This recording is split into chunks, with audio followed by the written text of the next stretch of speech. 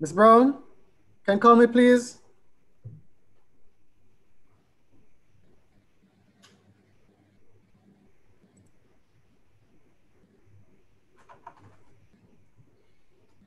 Brown, can you call me, please?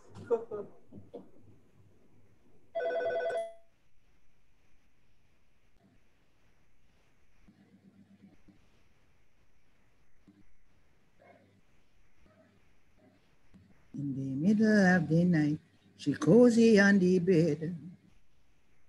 Bossing kiss top of she husband head.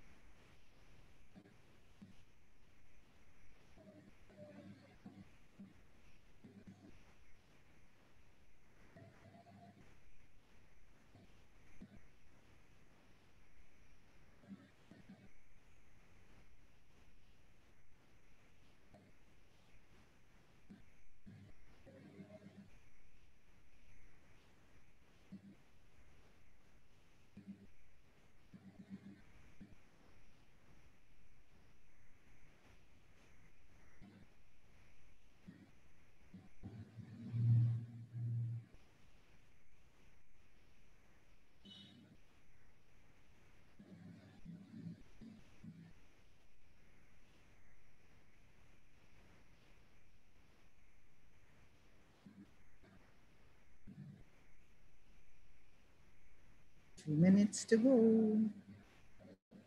Two minutes.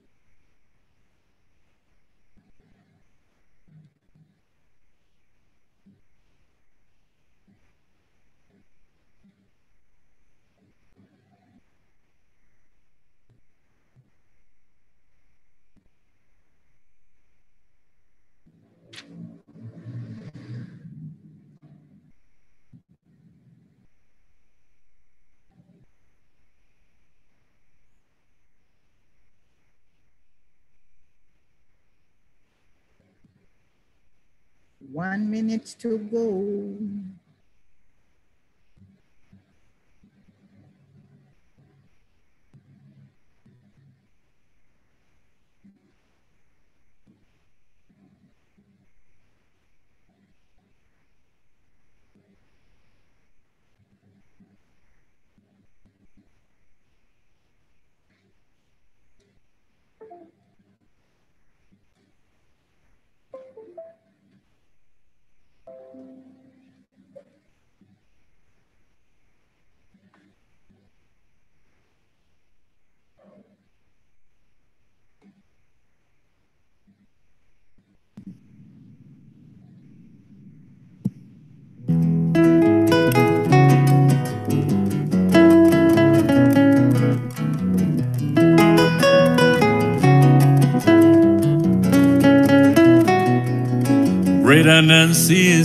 King of our imagination, bringing stories with the light of the ancient Africa. Brother Nancy is a griot, a chantuel, a calypsonian. What a wonderful delight is to hear her stories. Like enormous spider web, she weaves her stories, and the grandpa and the kids, they all love what there's to hear. Brother Nancy is the king of our imagination, and Nancy is the wonder of creation.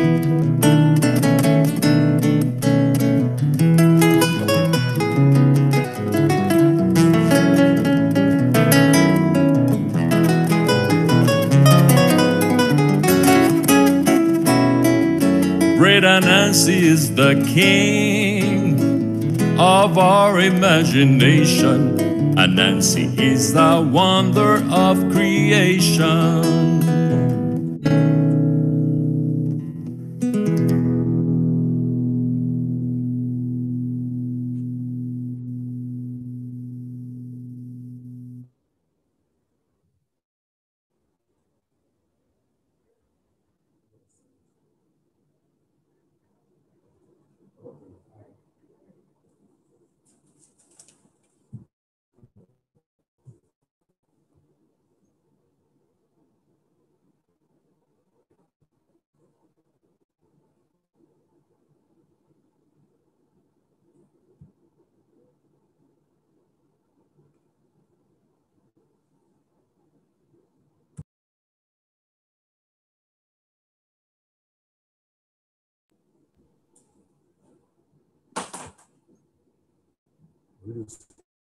Teodor. Hm?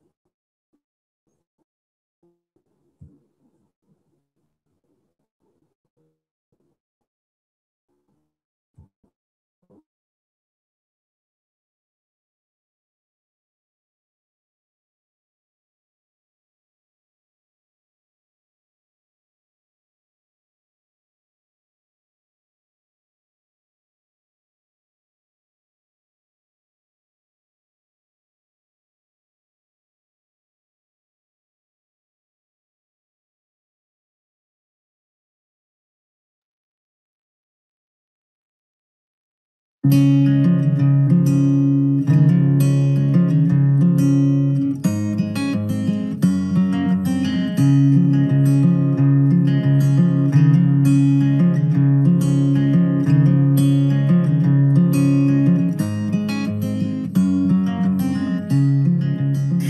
you very much for joining us for this very special edition of Talking on Purpose. What makes it special? The Edna Manley College of the Visual and Performing Arts has for a number of years been hosting one leg of the Anansi Soundsplash Storytelling Festival and Conference, and that leg is called Anansi Goes to College. So the storytellers have been to colleges around the country having workshops. And in the past, we have gone to all the colleges on the same day. And that day has been on the Thursday of the festival. Well, guess what? This Thursday is November 19th. It's International Men's Day. And a festival with Anansi could not rightfully ignore that day. So we want to explore what it is about our folklore, our storytelling that can inform us about who our men are. But we're not calling it Anansi and men, you know. We're calling it understanding gender in Caribbean folklore. And to help walk us through this is Nicole Williams, who is principal lecturer and head of aesthetics at the St. Joseph's Teachers College, and Professor Opal Palmer Adisa, who is the university director of the Institute for Gender Studies at the University of the West Indies. I believe you have um, branches, cells on the other campuses. on the Mona campus, on the St. Augustine campus, and at the Barbados Cave Hill campus. Yes. Wonderful. And my co host is going to be Mr. Sean Thomas, who is a senior librarian of the Jamaica Library Service, where many of us went to hear stories and grew up on stories there on a Saturday morning.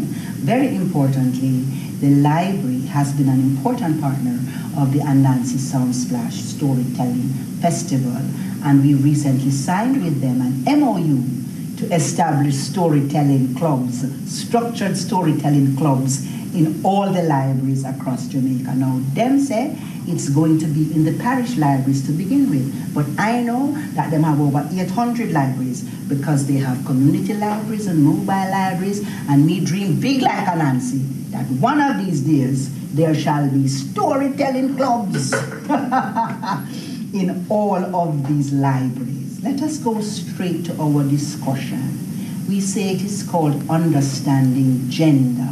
And when I was little, all I did know was that bulla was a noun, soft and tender, neuter gender. I didn't know anything else about gender, but now gender is a topical issue. Professor Opal Palmer Adisa, what am I to understand when we say gender? I'm very glad that you've asked that because, you know, gender is so widely misunderstood. And gender is really just a term that embraces men, women, boys, and girls. And what when we talk about gender studies, we're looking at how is it that men and women, boys and girls, operate in the society. Um, what are the things that are socially structured, social constructs of what it is to be a man, what it is to be a woman, what it is to be a boy, what it is to be a girl. So, for instance, I don't know about you, but when I was growing up, I was called a tomboy, which in these ter- days would be a very malign term because it says that a girl who likes to run up and down and climb trees and jump in the water is has can't be a girl she has to be a tomboy so gender looking at all of these social constructs of who we are or who we're said to be and it's really saying that in many ways they are inaccurate. And what it is saying is that men and women boys and girls are supposed to be allowed the full latitude to choose who or what they want to be that should not be defined by their sex. Okay, so you see now you really mean to confuse me because you're going to talk about sex, which means something else, Which as we have learned. But you also did not use male, female. So I want to know what make boy and girl, man and woman different from male, female, and what sex have to do with that. Okay, so sex has to do with the biological features of what it is to be a man and what it is to be a girl. So the most common and pronounced things are women have vagina and men have penis. Okay, so that's so the biological, physical definition of what makes you a female and what makes you a girl. Women can have babies, men offer sperm for us to have babies. They cannot carry babies. So the sex refers to that biological difference between what it is a man and what it is a woman. Okay, so there we have our understanding of gender. I mean, so we could have spent the next three years because it, it's not simple. Not at all. And it's not complicated, but it's complex. It's complex. To to that. I want to go to Nicole Williams, who earlier told me that she's a proud graduate of the Edna Manley College of the Visual and Performing Arts. And that once upon a time, a long time ago, one of the things she had to study was storytelling. Nicole, how are we to understand folklore? When we say folklore, what exactly are we talking about? Well, the terminology folklore is an extensive one. Um, it is very fluid. One would say, in, in its simplest term, it is anything that has to do with the folk. And by the folk, that German terminology, folk, it is anything that has to do with the people and the masses. So folklore is anything that celebrates the masses. It is anything, whether it is verbal, scribal, or iconic, that celebrates the mass. Um, so a lot of people are understand folklore just to be our stories or proverbs or songs, but it's also in our iconic representations or drawings. Um, what it is that we identify and associate a culture or a people with. All right, thank you very much. Iconic. So you mean if I go downtown and I were to look at that carving by Edna Manley, Negro Aroused, I could properly classify that as part of my folklore. It's one of our most popular pieces. Yes, it is part of the cultural representation. It is an iconic representation of the folk. So it is a part of our folklore. Okay. So, so for the purposes of not having um, a discussion that lasts for three centuries, we're going to narrow our understanding down today to the stories. And perhaps some of the folk songs will come in since we know that all our stories have folk songs in them. And I want to go Right. back to you now, Professor Opal Palmer Adisa. When you think of all the stories that you know, what is the immediate picture that comes to mind about men? And I'm focusing now on men because it is International Men's Day. Right. So, unfortunately, or maybe fortunately, growing up in Jamaica and growing up with Anansi stories, the first image that comes to mind is men as tricksters, being able, and particularly being able to outsmart others. So that's for me what is the first and most important thing about Anansi stories was that Anansi had the ability to outsmart others to get his way. So, you know, there is subterfuge, of course, but there is also the ability with words and to use people's um, specific traits to turn it around for your advantage. So for me, that is definitely an image of manhood, Jamaican manhood, that I think still is in my brainwave. And you would say that definition or that description of a particular kind of Jamaican man is what we call a sweet boy.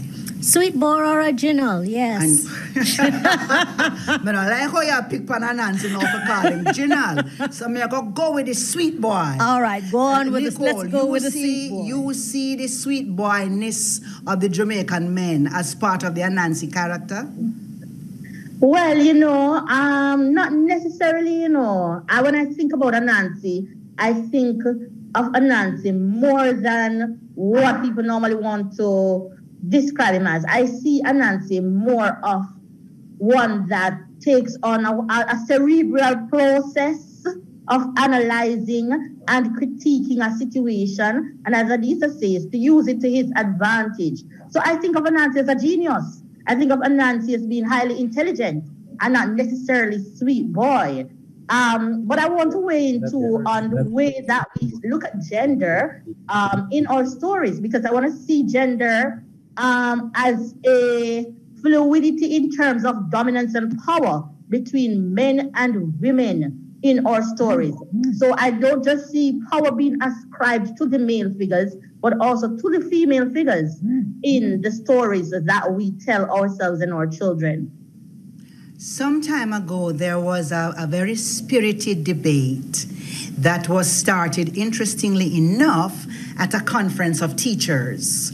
And in that debate, it had been tabled that we should ban Nancy, that we should have nothing to do with him in our classrooms, and our children should not be taught about a Nancy. I want to know if there is any way that either of you believe that the picture we have of a Nancy is part of the way our men are socialized, in the way that socialization also happens in informal spaces. Yeah, let me. I, and I also want to piggyback to something Nicole said, and I really like the way in which she reframed and recalibrated Anansi as this genius. I don't think I would go that far.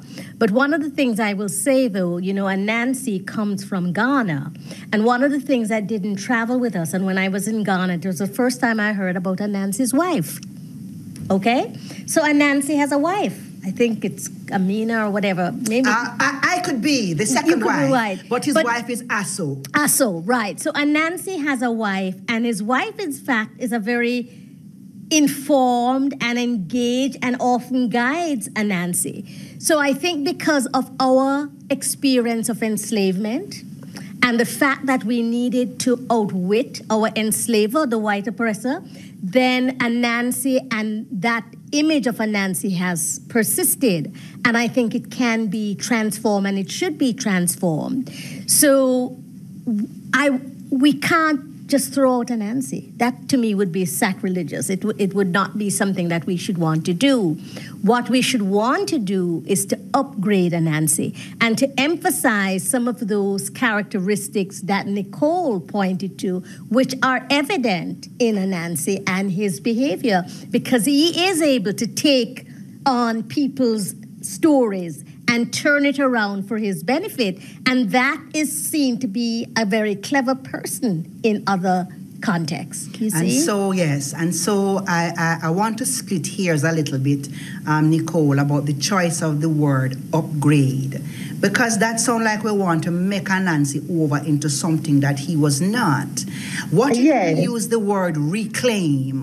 What if that I- allowed us to understand that Nancy was a particular deity where he originated from, but through the colonial lenses, he became something else? And that is that is exactly where I would want to pitch that argument. And um, uh, of not um, of updating Anansi. One of the things that um, is being voiced a lot now as people delve into 21st century ways of thinking and methodologies is this whole notion of learning and unlearning and relearning. And I think that's what a lot of Caribbean people, when we look at Anansi, have to do. We have to unlearn what they have fashioned him to be. And as you see, as you said, see him as the Eshu Elegba, because that's who he is. Mm. He is the God, the deity of the crossroads. And what he does is that he stands at the crossroads and allow people to make their decisions. And Nancy never cons anybody into a decision. People choose what they want. Anansi And put that's the argument. Anansi put And the that- argument. and, and that is the crux of the argument. I am the God of the crossroads, and you decide the word that you take. Now, if we're to look at Anansi in that way, then we understand the whole thing of scamming that people say is Anansiism, the whole thing of um, stealing and that sort of thing. Con is not Anansi. A con artist is one who deliberately take your thing and point in a direction. And Nancy, all he simply does is to open the ways and people make a decision. So I we want to back up a little bit vision now. and teach. Sorry, a little Yes. bit now about the way in which people speak things of us as real creatures that we come to believe, which might not be necessarily who we are. So we hear through the European lens, why Jamaican man, they, they, they wicked, they lazy, them, them is a gallus, them all of these things, and very often it is equated to a Nancy. And when we look at our men, Opal Palmer Adisa, I don't know of anywhere in the world where men work so hard. The men who sell clothes on the sidewalk, every night them move them store. And every morning them come and them set up back them store. And them is the minder of the store. Them is the customer assistant rep. Them is everything. And yet we hear that they are lazy in the way we hear these untruths. Can I go so far? About Anansi. Yes, I think we can. And it's true that what we have projected is one aspect of manhood. We have looked at the most negative, and that is part of the colonial legacy, because we, you know, we've looked at the most negative also in terms of womanhood, if you could might say that. So we've looked at the most negative, all of those uh, traits that you've pointed out, and that we have said this is what Jamaican men are. But there are many of us who know that there is also it's a continuum, and there are also these other men who have been steadfast, who have been fathers, who have been husbands, who have been loyal, who have always been there from the beginning. And what we're seeking and what gender seeks is to create a balance and to provide a platform so that we can have all of these men. And the men coming up with these very narrow stories don't feel like them have to be a gallus they can understand that they don't, you know, and they will still be appreciated, and there's a place for them in the society. Um, and again, it's the historical lens, you know, we don't have that here. We tend to um, close off that part of Once our upon history. a time is a long, long time and has Exactly. nothing to do with me. Well, I know a lady who make us know that once upon a time is right now. Her name is Louise Bennett Coverley. and we give thanks to Louise Bennett Coverley for the things that she has observed and documented. She said so herself, that she observed who we are and she documented. I wonder if we could take a break just to look at Louise Bennett's documentation of men, relationship to men, men and women, gender relationships in two of her poems. We're going to look at them one at a time. And the first poem I'd like to look at is um, by Louise Bennett, of course, called Dryfoot Boy. The performers are from the School of Drama of the Edna Manley College of the Visual and Performing Arts, and the first performer will be Kiana Jackson. Did I say that they're first year students? Yes. So let us welcome Kiana. Wrong with boy? Them girl got him for muck. And when me meet him Tara night, the boy give me a shock. Me tell him the same answer and cause them send Odie. And ask him where I'm getting on. Him say, oh jolly jolly. Me Mr. feel sorry for the poor bad lucky soul. Me think him come foreign and come get bad foreign cool. Me think him got a bad sore throat. What has him chat chat one? Me find out say it's foreign twang the boy was a put on. For him answer to nearly I must say. What? Actually? Oh there? And all them sitting there. The girl joke and the girl them laugh. But hear the boy. Ha ha. I'm sure you got that belly dash out of the cinema. Same time you ask me to upon me holla, boy kill out. No chat to me we not pity your time your mouth. Me stand up like him stunted. Then hear him now? How silly, silly. I don't think I really understand you actually. Me say, you understand me, yeah? No, you name a school. Always a visit Nana kitchen and a kill laugh you gongo soup.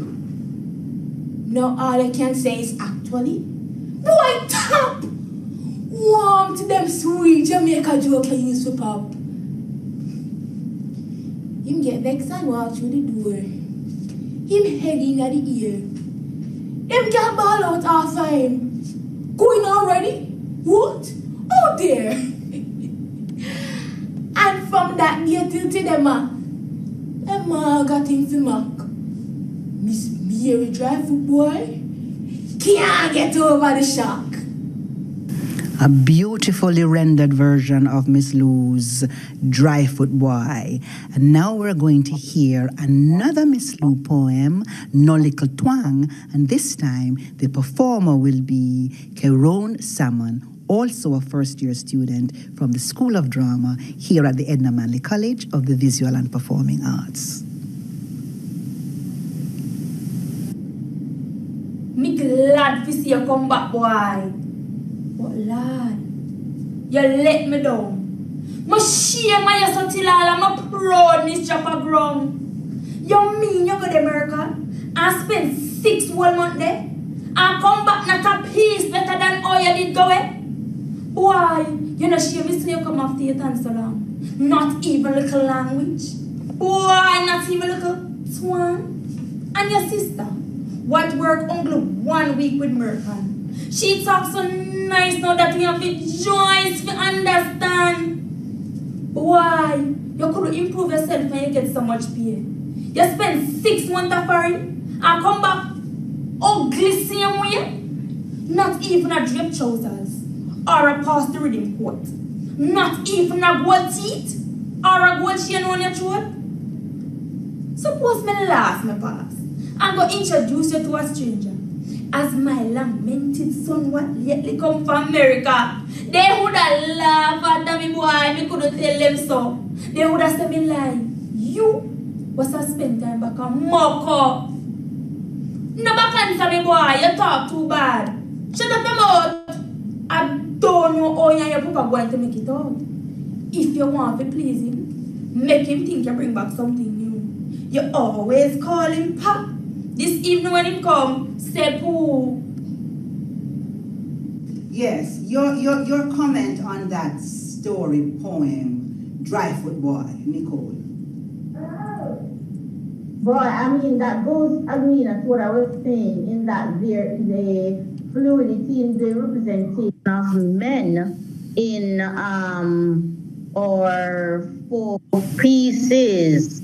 Um, because we know we see men as strong, domineering figures in a lot of pieces.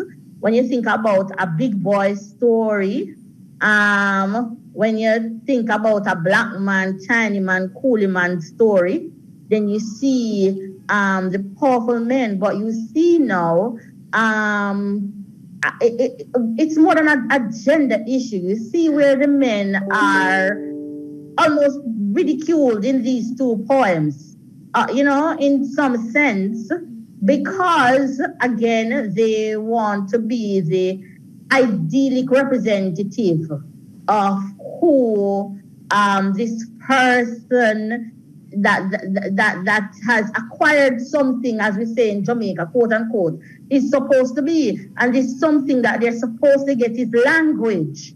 So it goes to the whole um, dialogue on language. It goes to the whole discussion on what language represents or represented at that time, and how it is that the masculine figure should be the representation of that dominant presence of acquiring knowledge to show that you are bigger than what the rest of the society is. Um, so I think it goes to not just the, the, the, whole issue of gender, but the issue of gender and language um, for those two poems. Thank you very much, Nicole. I know that um, your students are waiting on you, and we're so happy that you were able to join us. I, I am not letting you go. I'm just letting you know that if and whenever you have to slip out, we will understand. Because earlier, Professor Opal Palmer Adisa spoke about the dynamics of power. And if I were to borrow a word now that I hear big head people using, intersectionality. all right now, all right. because you brought in the big boy and you brought in the issue of race. And in that Louise Bennett poem, Dryfoot Boy, is a woman who is making the comment about this man's inability to reach what it is that is expected of him. So I'd like you to, to discuss that for us, Opa. Well, it's, it's race and it's class, and in Jamaica, those are still very big issues. Um, it's interesting because she, they start off by trying to belittle him, dry foot boy. That is not a compliment at all. And whereas, as Nicole says, it's about language and acquisition of a certain language, the, the contrast between two the both poems are interesting because in this poem, Dry Foot Boy, here is someone who has gone away and is speaking in a way that everybody pretends they cannot understand. But it is, the language that the school system has and still insists that we speak, right? And so they're ridiculing him for that attitude. In the other story, if I might jump into the other By story. By Keron, Keron, Salmon did for us no little twang. No little twang Uh, here is the reverse, right? So the scale is tipped on the other end. Someone has gone away for six months and them come back and them attack just like all away. So, oh, the poor man can't write. He can't, can't do nothing right. right. so this is what both stories says that on the one hand, if you come back and you try to pretend as if you've acquired those things, acquisition of language that you're supposed to, then you're showing off. The element of power, because in the no little twang, the mother warns him that even though I am so upset at the fact that you come back so, you better straighten up before your father, father. Exactly. come home. Exactly, exactly. And notice that in the first poem, it is the girls, the women, who are making fun of Miss Mary's dryfoot boy. We don't hear anything about what the men have to say about it, right? So it's almost as if these women because they have no access. The only thing they can do is to point out his faults. But he, in some ways, is above them because he doesn't recapitulate at the end. He doesn't try to speak any differently. He continues in who he is. And so there are these two stories of the community ridiculing him, but him continuing in his own power. That's that's another power dynamic, though, uh, Nicole, that we very often talk about in Jamaica and perhaps in the wider Caribbean and other places in the world, about woman tongue. That men are physically violent and they express their power in this kind of way. And the women who are not that physically strong, when we go to tell them something, you know, we tell them. And certainly in both poems, we see the woman tongue at work. I want I want to also um join in on that, Amina, because in the other aspects where the women display physical strength and it is not her tongue that is her power, then she is demonized.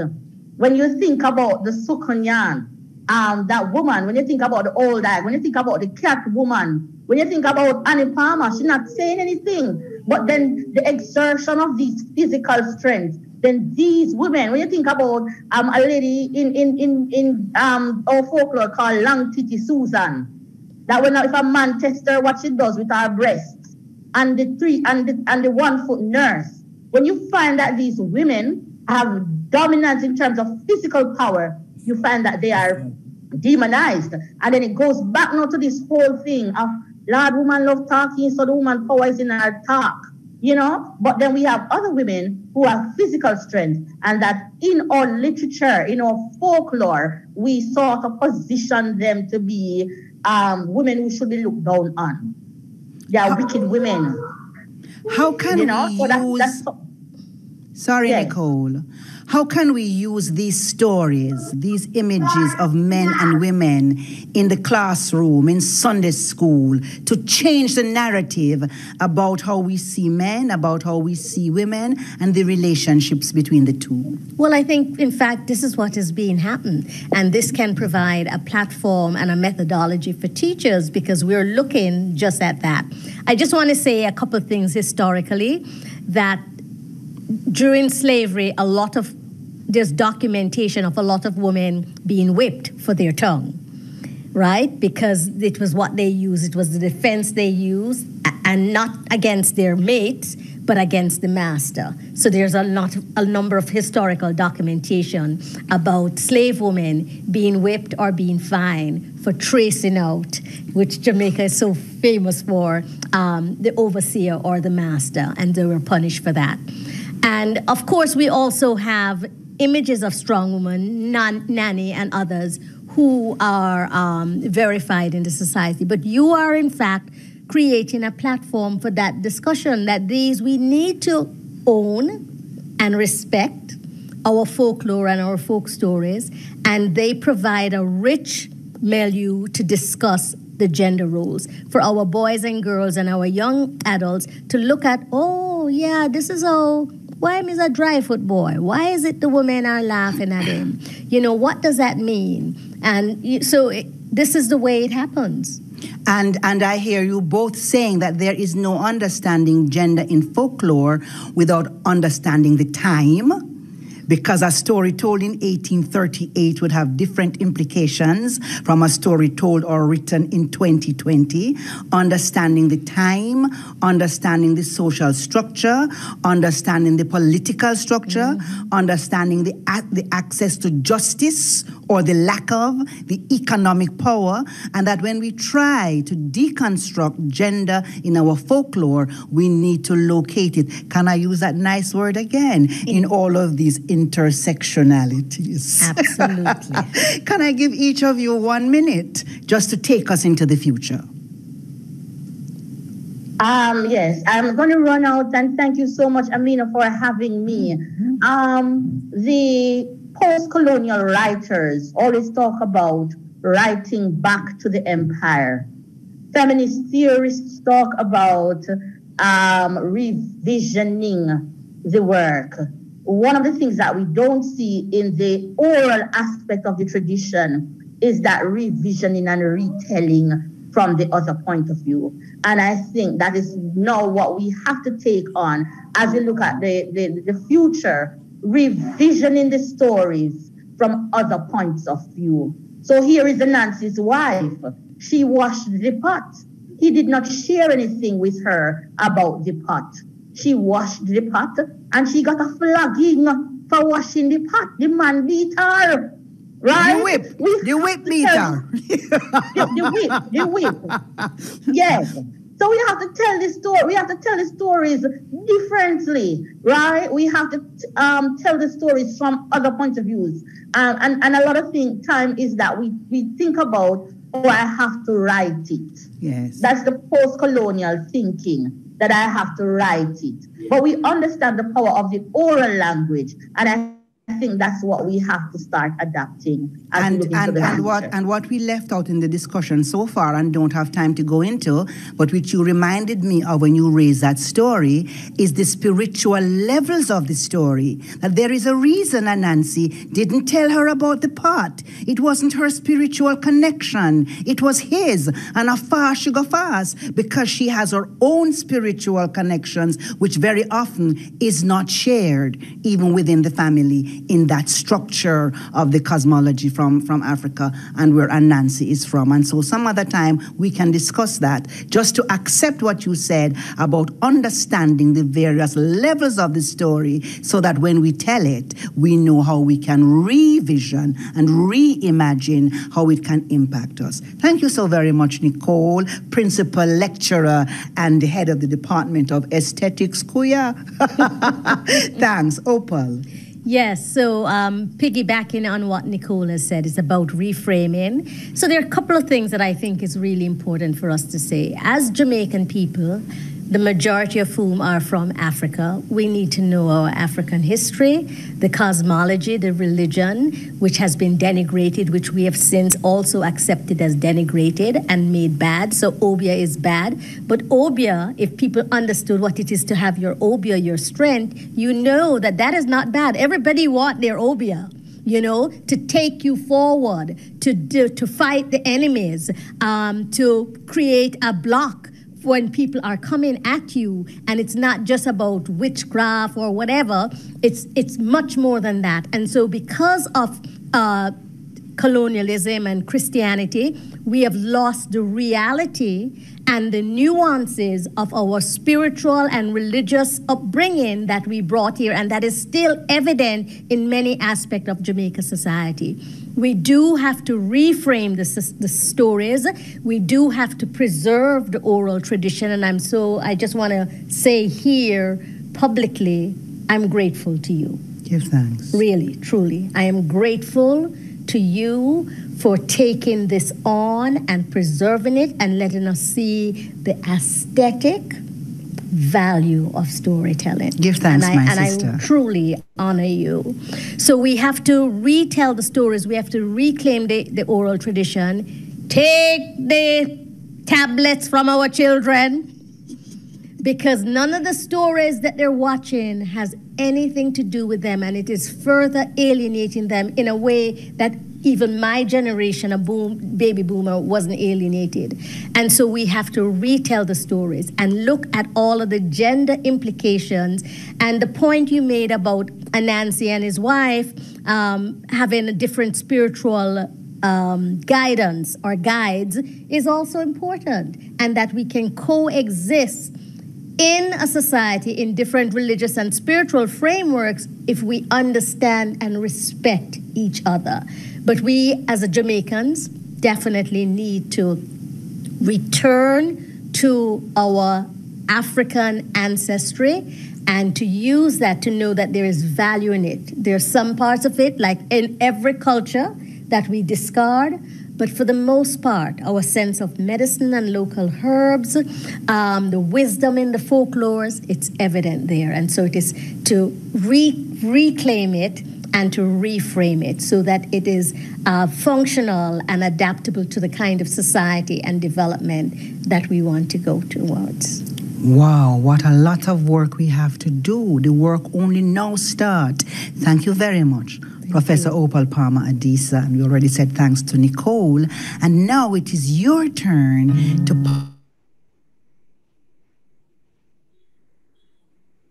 Before we give them all a turn, if you would allow me, please, uh, Professor Opal Palmer Adisa, Nicole, Sean, everybody who is listening and watching, to acknowledge the many people around the world. I love to say that when we're doing this, around the world who are listening now to our discussion and watching. And I want to especially acknowledge Dr. Anthony Charles, who sends his greetings, his salutations to everyone, and to contribute that in addition to what is being said, there is documentation on the sociological links between the genders, power structures, and speech.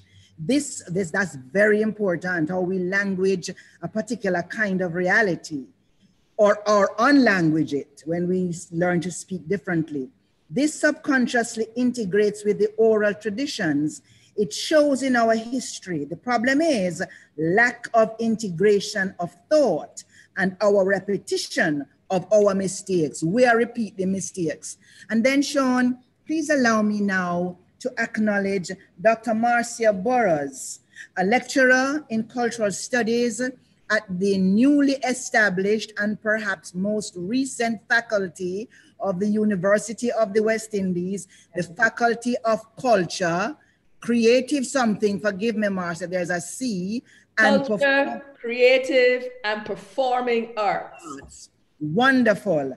And we're so happy that you're able to join us. You would have heard Nicole talk about a wider definition of how we understand the oral tradition, how we understand folklore, and she would have mentioned whatever it is that is iconic. And so I am just looking forward to your presentation on that iconic part of Bajan culture and cultural heritage, which you call landship. So everybody, let's welcome Dr. Marcia Burrowes. Okay, I- I'm gonna share my screen. Good afternoon, everyone. Good I'm afternoon. sailing in from Barbados. Landship sail. There are ships on land that sail. And interesting, Kamau Brathwaite, who was my heart, my heart, Kamau talks about the body voice.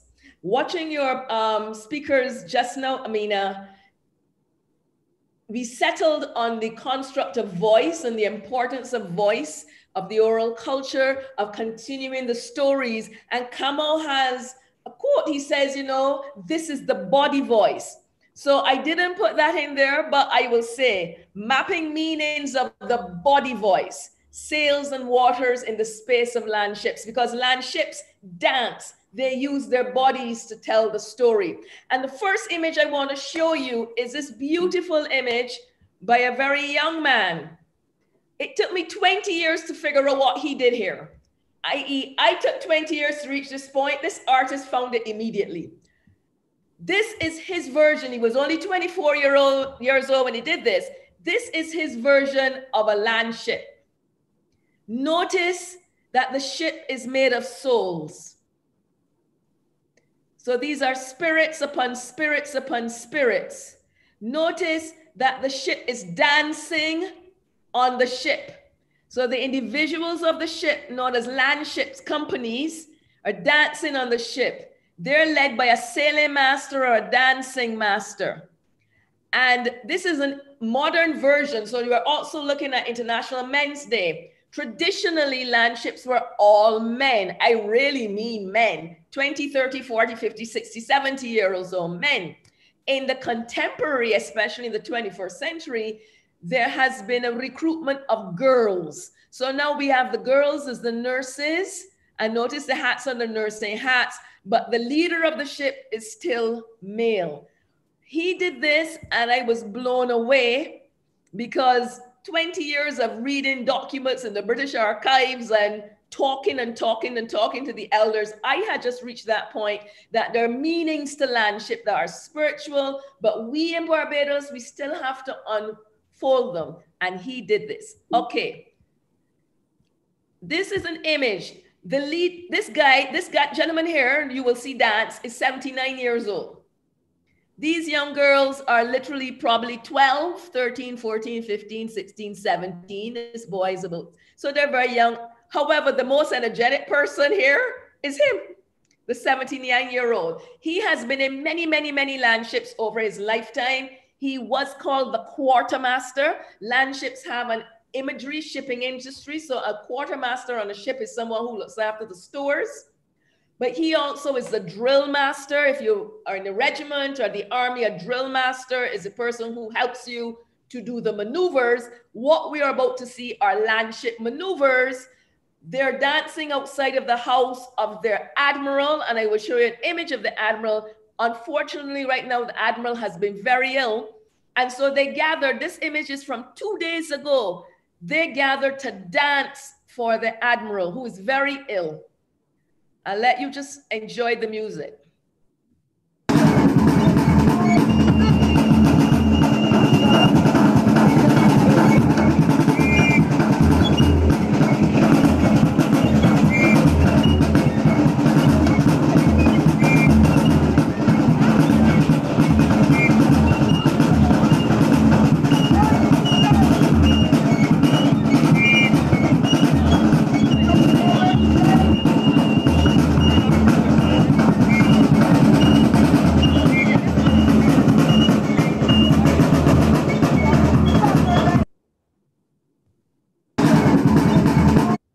Okay.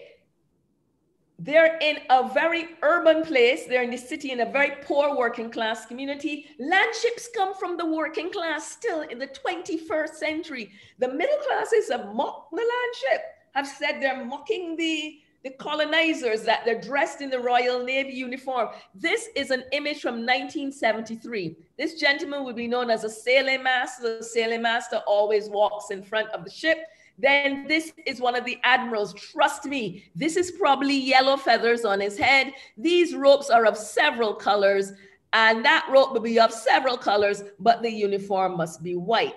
So in the 1970s, the land ships were ridiculed because they were supposed to be trying to mimic the British. What I have argued is that they're cloaking their heritage because this gentleman, Captain Perch, again in his 70s at the time, um, and they're marching across. This is on independence. And that's the background there of the city. What we just saw dancing, there's been a gender shift, as Amina was saying. This is the landship of the 1970s. I'm just showing you the landship of the 21st century. Gender shifts. The older gentleman is of the era of the 1970s that you see here. The younger children are the ch changes of the ships. So this is storytelling. So let me tell story. Amina, this is Winston Farrell's poem. Yeah? And so let me go. My share has gone right in front of this. Right. So he has a poem called Tribute.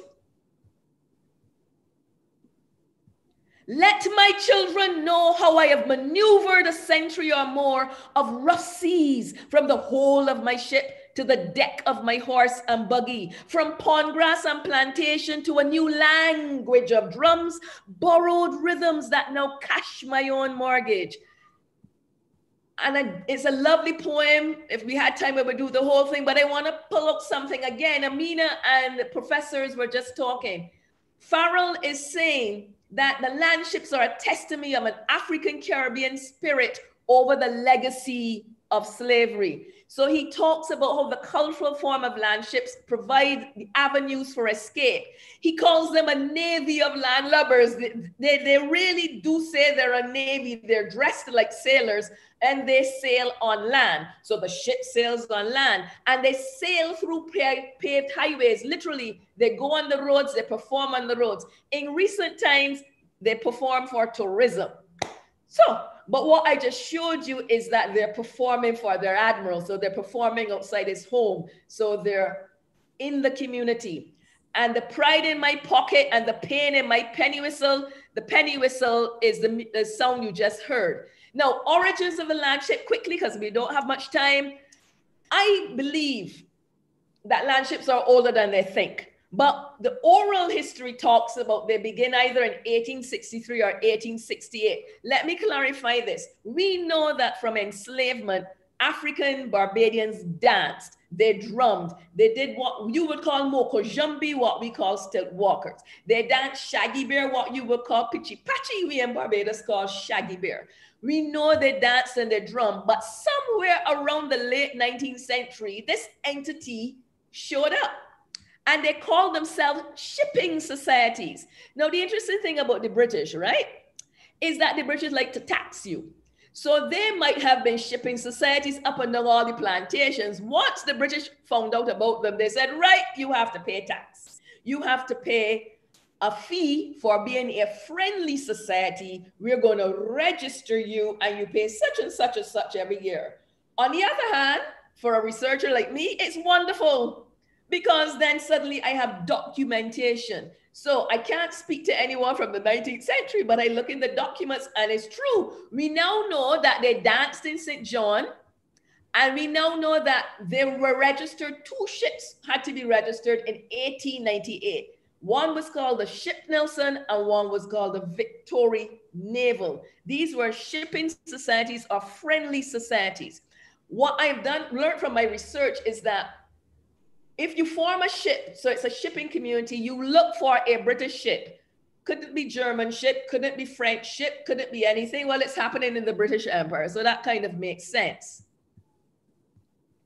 In St. Michael, which is in the town, like Kingston is Kingston downtown, St. Michael is a parish in the town, and it seems we had the majority of the ships that were registered in the town. So, for example, Bay Street is an area, if you know Barbados well, it has a it's a lovely beach out there. It's a wonderful beach you walk. So, but we know now that there was a captain named Captain Branford in 1931 who was the captain of a ship. We also now know that there are other sorry, I keep moving around. There, there are other names of ships. You know, there's the Cornwall and the Iron Duke and the Queen Mary and the Warspite, that they're picking up names of very popular British shippings, ships that are coming to Barbados and then creating themselves, calling themselves that land ship. We also know, for example, whoops, we also know, for example, that in the 1930s, this is the height of shipping culture. You had at least 3,000 ships 60 ships and 3,000 crew, sorry. And so there's a Lord High Admiral Walcott who was seen in the 1930s, and he was absolutely covered in feathers. It kind of looks like a Marcus Garvey helmet he's wearing with lots of feathers. Empire Club is a cricket club of the black for the black people or the working class. Empire Club, thousands of spectators. And at the time, this is a gendered ship. Really, one or two women, not but not many. And you would have these boys who are called the blues, which again is a shipping term.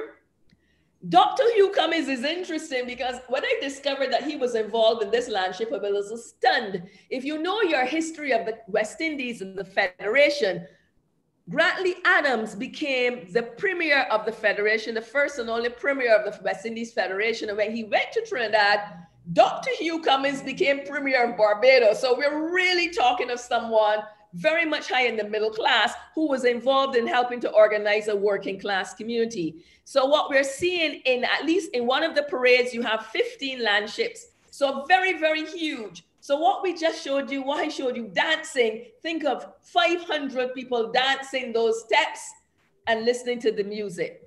In 1930, I love this. I read through the newspapers and suddenly there's a big complaint in the newspaper because apparently the land ships sailed their way up to a very established, what we would call a white Barbadian community or a very elite community, planter merchant class, elite community. They're sailing and they're drumming and dancing. And so the community wrote, someone from the community wrote into the newspaper complaining that the noise was so much they were taking possession of the air for half and three quarters of a mile. Imagine this noise, lots and lots of landship in the middle in a space that you shouldn't be. So that's what I conclude that for. It's beautiful. Now, if you're sailing, it's the imagery of sail that has come through. So this, each landship has a dock and a dock is the name of their headquarters. It would be a house, it would be a chattel house, it would be someone's house, and that becomes a dock. And of course, the land around the ship become the waters because you're sailing. You're not sailing on you're sailing on land, but actually it becomes the waters. And I honestly, honestly, this is storytelling. I interview a very old land man, and he said to me, "You know what we would do with the fireworks? We have something called bombs. In Barbados, they used to be little fireworks that when you threw them, they go boom. And these big men would lay in wait in their dock they have invited another ship to come and join them. And as the ship approaches, they bomb the ship. And I said, You can't be serious. He says, Yes, it was good fun. so they would bomb the visiting ship out of the waters, adding pounds of steel. Remember that sound of that tuk band? This tuk band is known as the engine of the ship, it's the music. And as you want the ship to move, remember this is the time of sail. So it's not the time of, of engine where you just turn on the engine and go. It's the time of steam, it's the time of sail, so that in those days you would actually add pounds of steam. I'm seeing the time. Yes, this I got from my mom. My mom was born in 1929, and she remembers as a child, land ships would parade and they would carry ropes around them so that they would be physically looking like a ship, though it's a ship of human beings, is what Kamau would call the body voice. So the bodies are moving and rocking and dancing like a ship. I've also shown you already the sailing master, and I'm honestly running out of time. But I want to show you this image. The land ships have a tradition of going to church. This gentleman here is Admiral Watson. This is a gentleman who is now presently ailing. This is a gentleman for whom the ship danced two, two, on Tuesday, two days ago. This is a lady who was going to play the flute, and these are the tuk band players.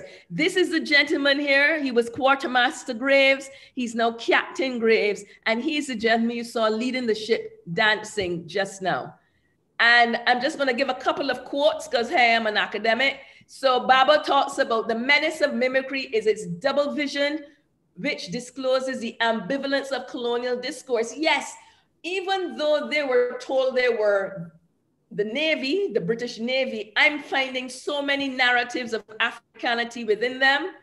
And Stuart Hall, again, born in Jamaica, who was the, one of the gurus of cultural studies and one of the philosophers of the 20th to 21st century, he's saying, but the pockets of survival in their pure form are massively outweighed in our culture by the way African derived cultural practice and meaning survive by being synthesized. They're synthesized. So even though I'm saying to you, Africa, Africa, you're going to say, well, Marcia, look, they're dressed in white. They look like a navy. They look like if they put on ribbons and they're being a navy. Hall would say to you, that's creolization. That's the blending of Africa and England. That's the continuing blend. And yet, remember the image I first showed you. The young artist is seeing a spiritual dimension, and that's where I want to end up. So I'm going to fly through this.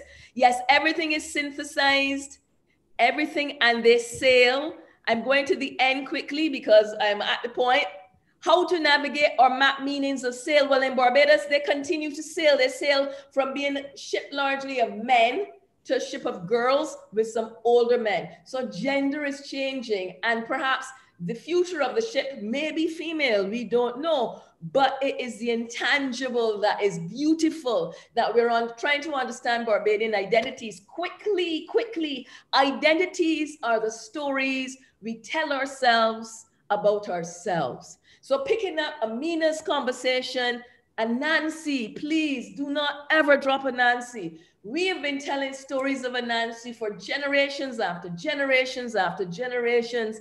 We came, we were brought from the continent of Africa, forced from the continent of Africa, and we brought our memories. We brought our meanings of identity. Let me say it again. Identities are the stories we tell ourselves about ourselves. We in Barbados, we are continuing. I am continuing to try to understand the landship. The young artist, right? So he called his graphic novel, and apparently the island of Barbados in his graphic novel was under attack. And so this being coming out of the water has the intention of literally drowning Barbados, killing all the people, attacking Barbados. Why do they sail? So, in his artist mind, he says the vessels of the land ship are not real ships, but instead are ancestral ships, joined to the rhythm of each ship's tuk band and guided by the crew. He says the ships have the ability to fly as they traverse land masses. Some units can also submerge themselves. I thought, wow, that is true we have inherited the concept of land and in a sense we weigh them down. The young artist is saying no they're ships they're spirits. Spirits fly spirits move. Ancestral ships can fly. And he came up with this image. Here's the young shipman and the young ship woman young ship girls. And here they're flying. Look uh, with the birds. Shippings flying through the air. Shippings flying through his tanks this is what he's seen. He's also having someone in the water. And then he deliberately does the young shipman in this kind of, well, for me, reading, as Stuart Hall would say, representation is interpretation. So I'm interpreting his image here, swimming as though he's swimming as though he's saying, Come follow me. Notice the birds are in the sky. So he's seeing ships not stuck to land. Let me remind you, his first image that knocked me back, Matthew Clark, he's saying the ships as they dance they are carrying the memories of their ancestors, that their ancestors are dancing with them. As we would say when we look at J'ouvert, as we would say whenever there's a masquerade, we're calling the ancestors with us, ancestors to walk with us. Finally, Winston Farrell, proclaim my independence. Rest me in the bosom of history when I die. Thank you.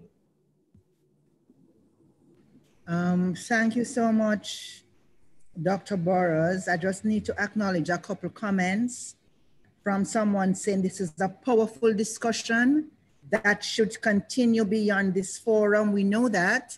We know that we don't stop, that we are just runners in the long relay until we get to where we want to get to.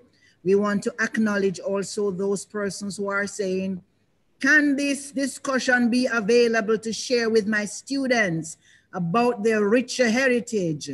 And also, we wish more people would take this festival seriously. We too, but we also know about the power of one. And because our numbers are small, does not mean that we are not impacting, that we are not being effective. I believe Sean is gathering some of the comments that might have come in on his end and his own comments that he wants to make. But gathering from from from you, Marcia, that when we look at the the gender images, the mm-hmm. male and female, man, woman, I get very confused now. Images in our folklore as stories, as songs, as iconic representations, that we are not just learning about masculinities and femininities in terms of how those would express themselves, but we're learning about what was transmitted, how mm-hmm. it was transmitted, and how it was preserved. Mm-hmm. And so I want to throw at you one of the one of the concepts that Kamau Brathwaite certainly taught me about masking about yes. the fact that women were allowed to do certain things because how dangerous can a woman be? So when you talk about the gender shift, that yes. certainly has to be part of it. That men did some things and women did some things equally subversive to the system, which is perhaps why Aunt Nancy is sometimes called Aunt Nancy, because it's just a little spider and is a woman. So why should we? Why should we? I, I quite agree. There's something I discovered very early on that I didn't quite understand until later. The women in the landship were called stars, S T A R S. So when women were allowed to be in, and it seems to be then, well, as far as we can see from recorded history, I have no idea if they were there before, somewhere around the 1930s, women are in the landship and they're called stars. That's I put a point there. Later on, I'm told landship was involved in Marcus Garvey. Star is a Marcus Garvey term. And George Lamming has a memory of being in Carrington Village in town, seeing a landship marching, carrying a star before them. He says, Yes, I saw these big women marching with a star. So women are called stars. But that point, I can tell you, if the British officials realized that landship was actually up to Marcus Garvey would have shut them down. But the best thing that Kamau would say, the best way to hide is really out in the open. You put on the uniforms of the master and you march, and the master goes, Oh, how nice. You know, they're not quite really good enough to be British, but they're entertaining. And all the way they're doing Marcus Garvey. So that when Marcus Garvey came to Barbados in 1937, he went a couple of places in one day. Would you believe the first place he went was to a landship? For one day. Marcus Garvey, Marcus Garvey was so fond of, of, of pageantry. Earlier, you mentioned yes. his hat and his feathers yes. and everything yes. that he wore, um, almost like a modern day Michael Jackson, representing and symbolizing. Um, can I just pick up where you spoke about memory just now? Because sometimes we believe that memory is something you have to fall asleep and go into a trance to pull out. But in that first um, musical piece, and yes. maybe two questions I want to ask you now. With the men dancing, um, that looks so much like uh, the Jamaican Jonkonnu heel and toe. Yes. And that looks so much like uh, uh, uh, Ugandan dance called the cowfoot that yes. our Ugandan storyteller has taught us. Would you like, first of all, to comment on the yes, fact that memory is not 10 centuries away? Now that now that landships have moved themselves or have sailed away or maybe the society they brought the society on no longer are they just mockery although there's some individuals in society who think that. But now serious work is being done. Now i created cultural studies at cave hill and one of the dancers who trained in jamaica at edna manley he created a landship technique. He's been documenting the moves and making sure that we've got something written about the ship movements. So definitely, once we take away the cloak, what I call the cloak, I call all of that um, clothing is a cloak, is a mask, it's part of pageantry. You're quite right. I mean, it's part of pageantry. Once we take that away, we see, so what is the memory they have brought forward? Kamau says body voice. What have they captured for us? And what continues to be captured kinetically? So, for example, yes, we don't know. I've seen documents of enslaved peoples in Barbados dancing and singing and howling. Europeans are writing it. So it's howling, which is great. It means they can't understand what they're singing. We don't know if that has come through and that somewhere along ships, the shipping societies captured a bit of the movements and the memories of Africa, of African Caribbean peoples um, despite the serious, intense Creole um, colonization that happened in Barbados. By cloaking it in, in British uniforms, they were able to keep it. Problem, problem. Back to you. We, Later we forgot why they're dressed like that. so they say, ah, Barbados is little look at the landship. And I go, no, there's so much more. So it's recovering and uncovering those memories. Yeah, we, we, we therefore want to acknowledge Terry and Chisholm, who finds this discourse quite elucidating and she's enjoying the reframing of Ananse. I, I, I, want to make a comment on that just before we close the program, but I want to go back to landship because recently, maybe three or four days ago in Barbados, you removed a rather troublesome statue. Am I correct?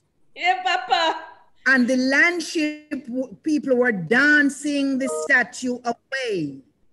Um, no, that's an interpretation. I'm not sure landship was there at all. As I said, landship is actually trying, they're celebrating the life of their admiral. But yes, it took 207 years for us to get Nelson moved.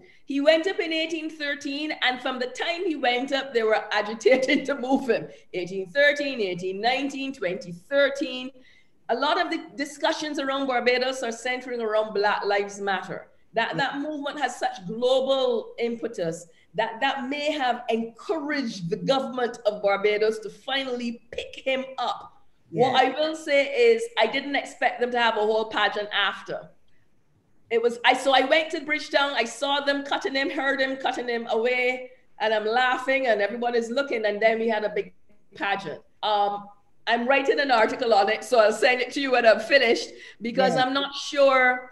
I'm torn between whether you celebrate or mourn. I'd like to do a little bit of both because exactly where Nelson is stationed or was stationed, literally 10 footsteps away is the careenage. We know African enslaved peoples were brought there. We know they were made to cross over that careenage and possibly were sold right where Nelson is or somewhere near.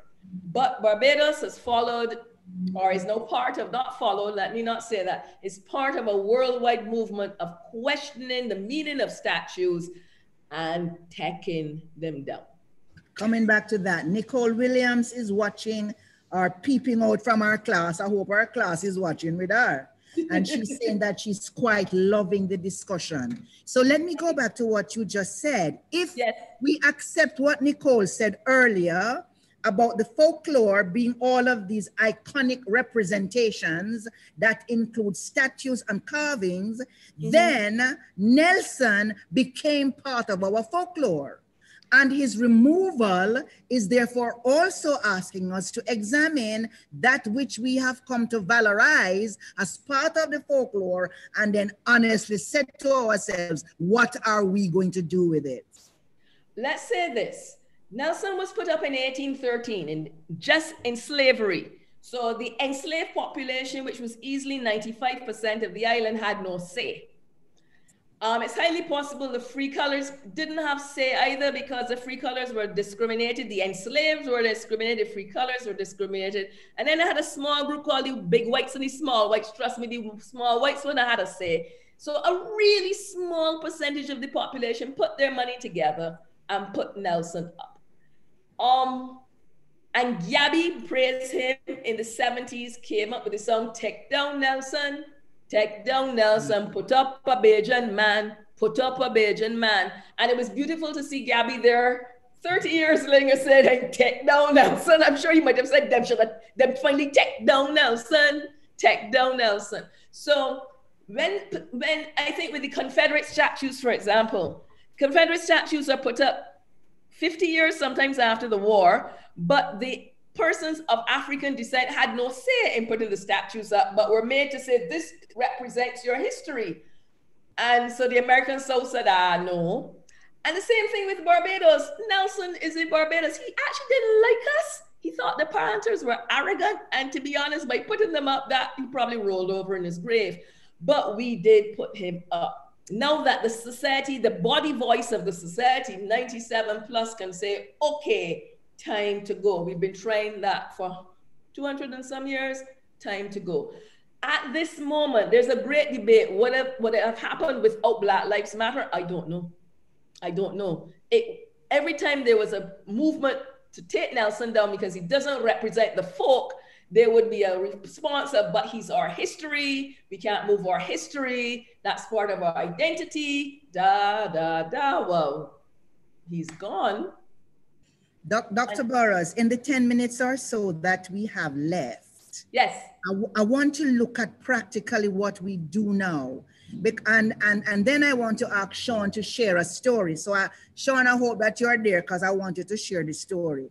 And the story really is about how do we know when it is important to listen? When our grandparents are telling us these things, we think it's old fashioned things, you know, and we don't pay them no mind until after them dead and gone. So in that context, I want to ask Sean to, to, to relate his own experience about how he discovered when it was important to listen. But in the same vein as knowing when it is important to listen, watch Amina Amasia, and Nicole and Opal Palmer Adisa up here. I talk big word thing and big concepts about the people. After we done say that these things that we cherish come from the people who are on the margins of society.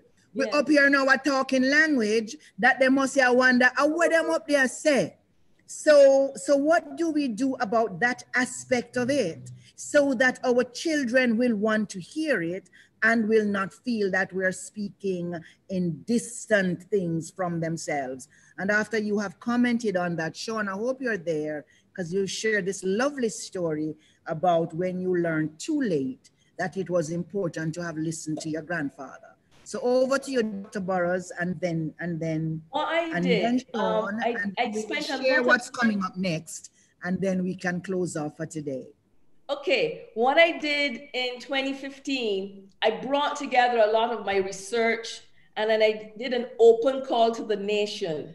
And I went to find as many elderly landship people as possible. I am working on a book, but what I did for the public, public acknowledgement, was I created an exhibition an exhibition that was able to tour all of the parishes and all of the libraries. I loved what you said about libraries, all of the libraries in Barbados, so that the public could come and see. By doing that, by the way, some of the public identified some of the images of the men and women in these photos from the 1970s. So I was able to keep gathering information. That exhibition is now permanently up inside a dock, not a library, not the university, inside the dock. Today it's called the Barbados Landship. The dock is in a working class village in Licorice Village, it's called.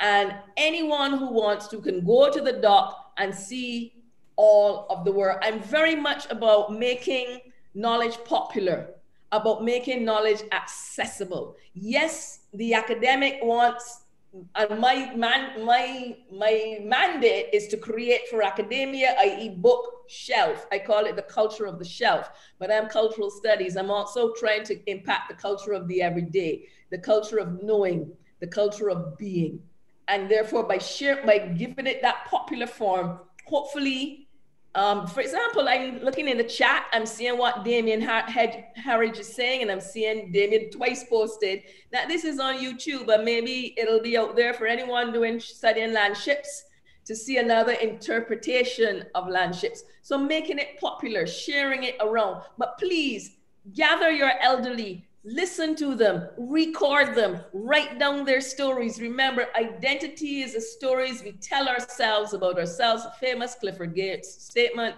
anthropologist Clifford Geertz, repeated by Stuart Hall and so many others. Listen to your elderly, they have so much knowledge to share. Some of us can't see what Damien Harridge posted. Oh, I'll say he um he's saying very interesting presentation. Landship is one cultural form being studied in theater arts, CSEC. I do hope my students are tuned in. Need the presenters, contact and email, blah, blah. Then he says, my modern day understanding of landship is the come together society that I have grown up to see and learn about as a child. My grandmother and mother are members of the community. They join the society, they pay their dues, true, Whenever someone dies, they visit the home, true, and they have a meeting and they celebrate the life. That's what's happened to, well, Admiral is very much alive. No, Let's not ship him off yet, but they are in the process of doing the rituals of ensuring, just as that young artist said, that the spirits gather to carry, to sail that soul home. Whether he goes home in four years or never, I sincerely hope never. Admiral is a wonderful person. They would march and have land, elements of landship very interesting. The people who join the group are ordinary. Yes, yes, yes. Middle classes don't join landship. I have danced landship officially when the government of Barbados sent us up to Haiti. It was Carrie CARIFESTA.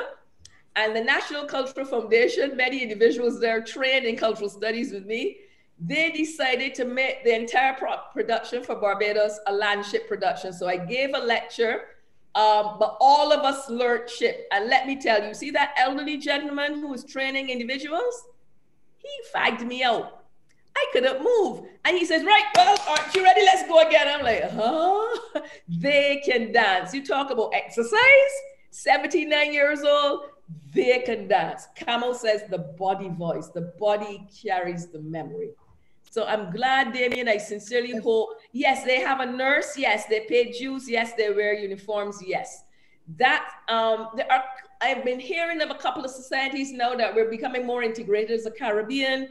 I think the, the, the shipping narrative of the British uniform may really be a reflection of how colonized Barbados was, or perhaps is.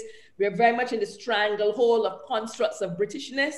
And so even though we're these people of African descent mixed with a number of other peoples, as we all are during slavery, because of slavery, we have this label of being British.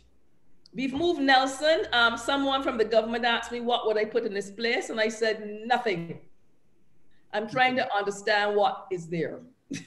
as soon as we put something else, they go, oh, here we go now. And a generation later, we'll move him because, and on and on. I need to understand what is there. That's the work I'm doing now. Their processing What- was done what- in the form of a ship. Okay, Damien, is this in Jamaica? The people who joined the group are ordinary people. Damien is sharing with us his memories. They're calling him the would come on. president. Damien, I wish you would come on and talk to us. Damien, Damien, I wish you would come on and talk to us. I'm not seeing what he's saying. So he's remembering Jamaica. Where in Jamaica was this done, Damien? Because Jamaica big, Barbados small. No. Jamaica big. Listen, remember I tell you the story how I walk out the back door and hit a mountain? How Yes. Barbados would never have a mountain in the back door. Never have a mountain. Good, I good go in the afternoon. hill. Good Good afternoon. This is Damien. Damien. One moment, please. Yes, this is Damien. Let me Just, sorry, Damien. Let me just call for Sean again, because certainly part of what we're talking about is important work which the library has to do. Mhm. And um, yeah, all right, go go ahead, Damien, and then we can share what's coming Yeah, up. as, as I shared earlier, um, based because the students are doing landship, and when I did my presentation the other day, I made reference to this experience. As a child growing up in the community, we had what they call the Come Together Society, and they had several of them. My grandmother was a part of it, and they would have things like rallies where they raise funds. The persons would pay their dues. They have a book like a bank book that it is Mhm. recorded in. Yeah. They call it turnover based on my understanding in Barbados. They call it dues that are paid. And they would visit the sick or the shut-in or the elderly. So if you're ill, you get a sum of money and they visit you and give you special packages. When the person dies, what happens is they go, they will post their banner, they have a march. And if the person, the they would march around the community, Mhm. post um, themselves at the yard of the individual for probably an hour or so, and the same playing of the, the they have a band that they would play. When the body has been taken in the hearse, the hearse is in the middle, the nurses and so on are, are at the side, and the other members they are all fully dressed in white. That is their ceremonial costume. The nurses have on their hats, and Mhm. they, there's a thing called a regalia that the president wears across the, the chest Yep. and they have um, two swords that they use to point, and everybody has to come through this particular thing during the procession. When the body reaches the funeral, when the body reaches the cemetery, the ritual again is performed where the sword is crossed and placed over the, the grave. Yeah. And then before the body is lowered, all of the nurses who are the armor bearers would be the ones who would lead the necessary activities. And the president would do all the necessaries that has, in terms of um, a particular ritual. And when they're finished, they all turn their backs Mhm. when the body goes down. And then if there's a child that is youngest in the family, the ritual of passing the child over three times over Yes. the casket in the grave. And this was something that I never really quite understand until I got much older because persons who don't understand it when they have their meetings, they would say it's lodge. Yes. And as I would often say to my students, anything people don't understand, they call it all kinds of names. Like Kumina, they call it Obeah. yeah. When, when, well, by in truth and in fact, it's actually a retention, it's a rites of passage, It is true. right? And it is actually a ritual. Kumina is a ritual, you have to understand it and so on. The So the landship, I'm quite familiar with it in the context of the contemporary society in Jamaica. I need to find out from my mother because it has been breaking away because of the tradition Mhm. and people are not keeping the retention, as you said, or holding on to their, their history, it is kind of dying out. So I need to find because find out from her if this society really still exists. Because trust me, persons used to benefit a lot. The shut in, and it would it would be of benefit to persons who die. They Because yes, and just Where- like the landship. society? Where is this society? Where did you experience this? Where Actually, well, I'm from Trelawny. Trelawny. I am from Trelawny in Jamaica.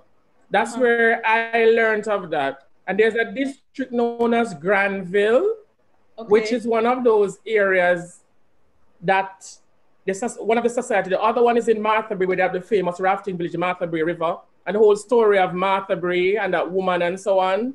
I am from that particular area. So I learned of those um, situations based on what I I um remember. And there's a night when they would come, they call it the night, the society's night. So Yes. these persons come and they keep their meeting, Yes. and only the members were allowed to participate or engage in the activities on that particular night. Nobody outside of that particular group.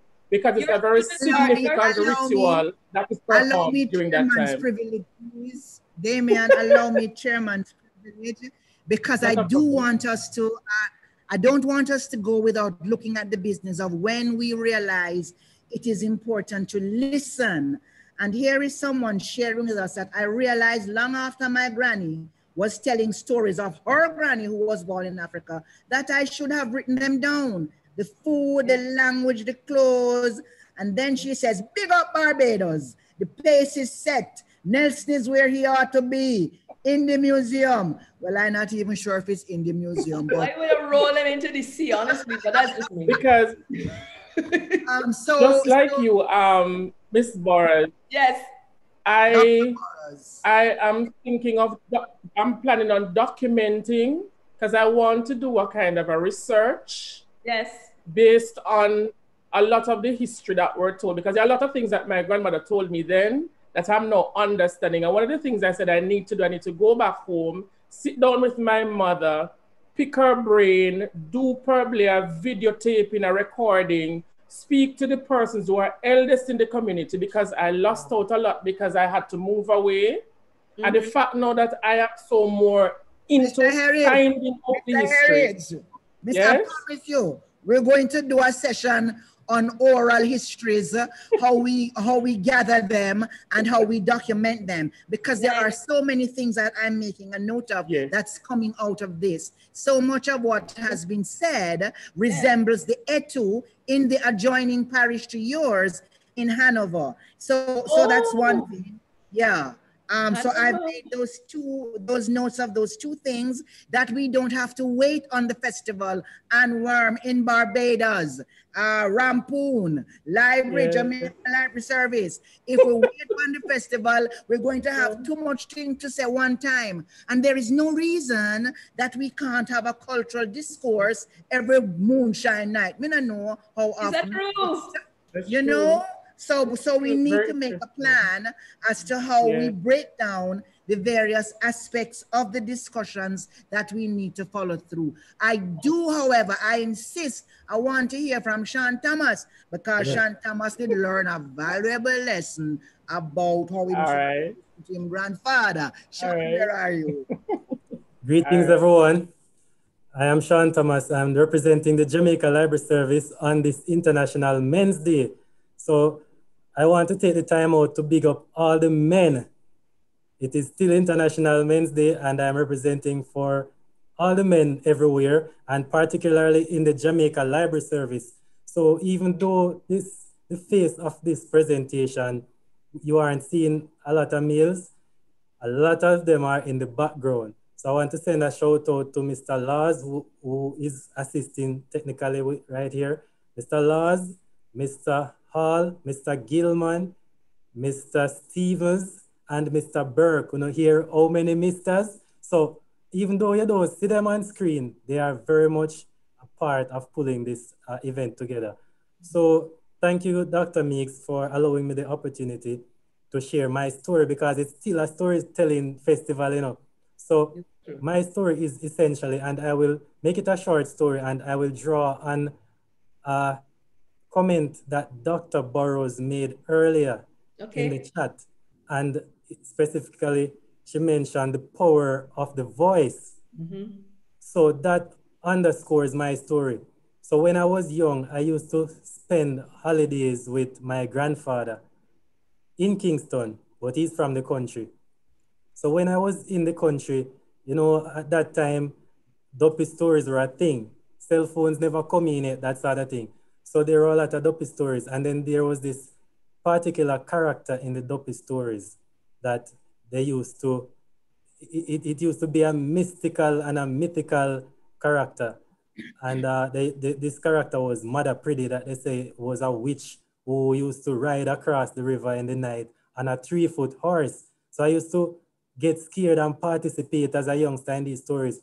But when I visited my grandfather in Kingston now, my grandfather was one, he was, he was, I would say semi-literate, but on the lower end, all right? So he did a, he, he did a lot of storytelling. Everything that him said to us, he put it in a story form. So here's what I used to do now as a youngster and not, not applying that, um, that importance to it. I used to, while he was talking, I used to interject with yes and okay and so on and all right. And um, he would think I was actively listening. I was hearing. And then guess another thing is that he was blind. My grandfather was blind. Well, he went blind. I, I, I knew him when his sight was going and then subsequently he went blind. So mo most of what he shared with me was when he was blind. But here's the thing now. I realized that if he was talking and you, and you leave out of the room, even though him can't see him, no. If you're there to him left, him no. If you're there to him right, him no. So you can't trick him. So I used to try a little way, you know, when I was getting distracted, you know, I'm on holidays and watching TV and so on, getting distracted, want to go outside and play and so on but he wanted to, to share these stories. And it, it's now in my adulthood, I realized that it was very important. He, he saw it as a very important thing for him to share these stories and for him to have an audience in the family to share it with. So because I couldn't get away from him now, I had to be there. And even though I was trying to evade him by just interjecting yes and okay and all right, me here, man, and so on, I had to hear because it was the voice. Yeah. So he was saying things that I didn't register immediately, but growing up now, coming into adulthood, I have, have, have to start reflecting on everything. And one of the key things that I found out is that him used to talk about the character that I used to listen to as a child in the duppy stories that them called Mother Pretty. I realized that my grandfather used to say that was his grandmother. Yes, I remember a couple stories where my grandfather said Mother Pretty was his grandmother. So when I checked it out now, I realized that this great, wonderful, duppy story that everybody in the community used to feed off and, and, and connect to other stories, connecting to our ancestors. It was directly connected to me. And in addition to that, through his stories, going back to understanding the, the, the, understanding gender in Caribbean folklore, in telling his stories, because my grandfather, him never, him never write, because as I said, he was not really literate. So most of him say him talk. And there is so much I can draw now from what my grandfather said that I was telling Dr. Meeks that I could write a book. So you see how significant that is. And within those stories, a lot of other things came out because um, in growing up now and facing reality, taking on certain amount of responsibility as an adult, I realized that, you see, you see, this thing that my grandfather did say, it was a serious thing. This other thing when did say, this is what I understand now, it, it, it applied to financial literacy. This applied to ethics. This applied to morality. This So that is the nature of the story. So want to thank the panelists again for that spirited uh, discussion, conversation, and it highlights the significance and the importance of sharing these stories to shed some light and to clarify the narratives so that the appropriate messages can be shared going forward. The appropriate mes messages can be transmitted and received and actioned, and particularly by the men in our society. So as Dr. Meek said, we look forward to continuing these series of events. And uh, afterwards, we will go to, I think, a commercial break. We will, we will highlight some of our sponsors, and then Dr. Meeks will take over again. Thank you so much. Thank you so much, Sean. That was so worth sharing, so valuable. Thank you. Okay, commercial break, and then we come back to more.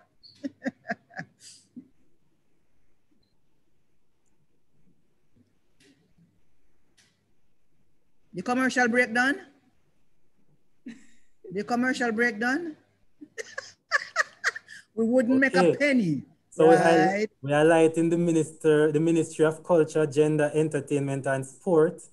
We're highlighting Ntukuma Foundation and the NCB Foundation, as well as the Jamaica Library Service. Of course. Um, not, not on this board is Musson. Musson is definitely one of the sponsors participating in the book launch.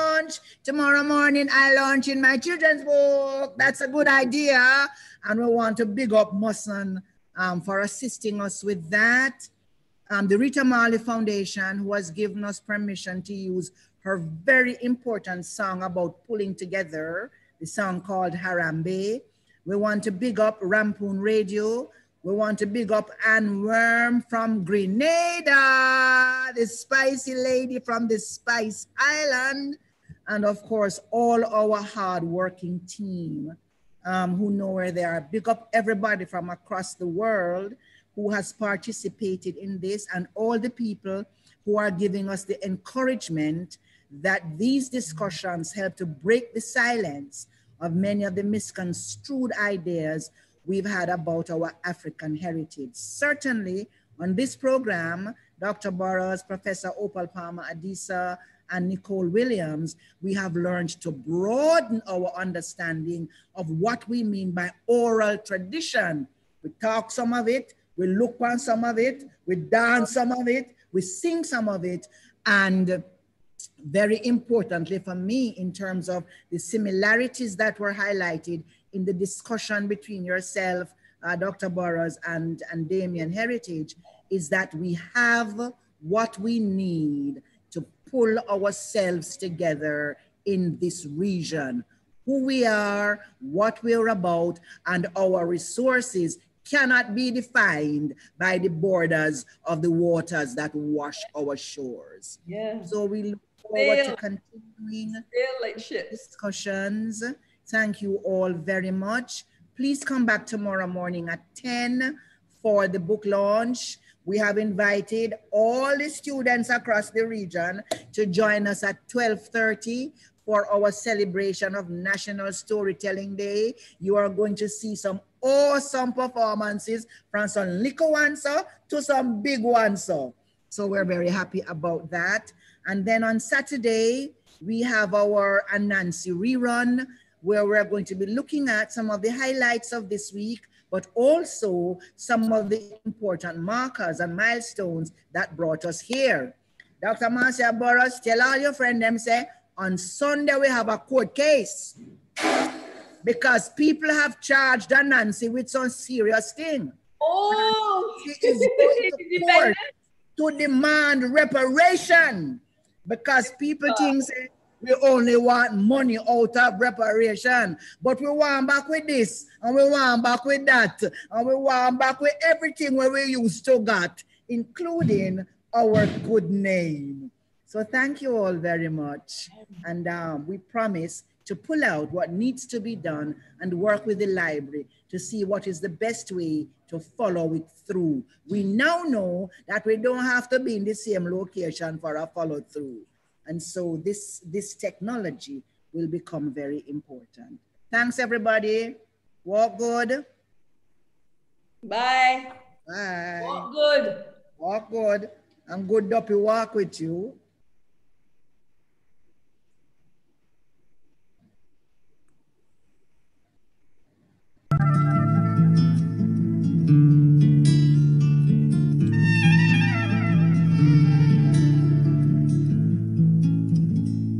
Come, Miss Claire, take the back of your head, my dear.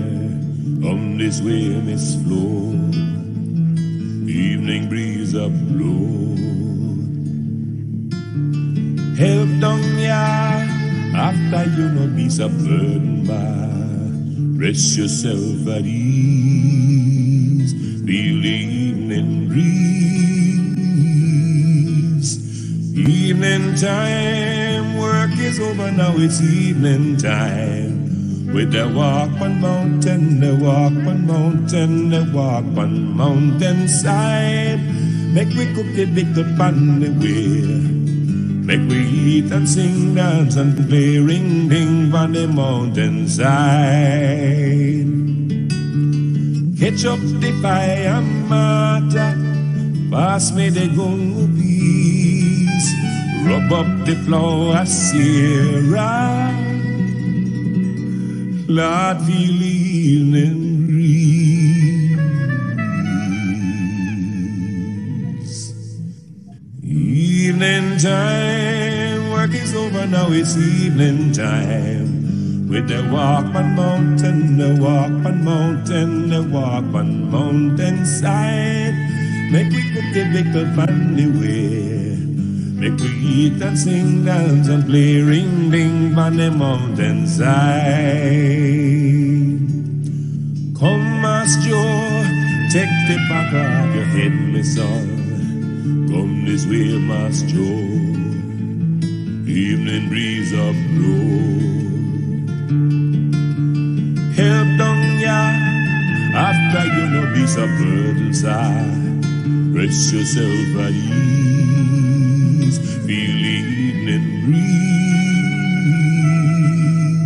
Evening time. Work is over now, it's evening time. With the Walkman Mountain, the Walkman Mountain, the Walkman Mountain side. Make me cook the little pan the way. Make we eat and sing, dance and play ring ding on the mountainside. Catch up the fire matter, pass me the gungo please. Rub up the floor, Sierra.